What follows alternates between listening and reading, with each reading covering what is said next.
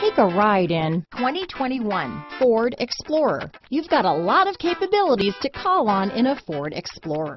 Don't underestimate your choices. Here are some of this vehicle's great options.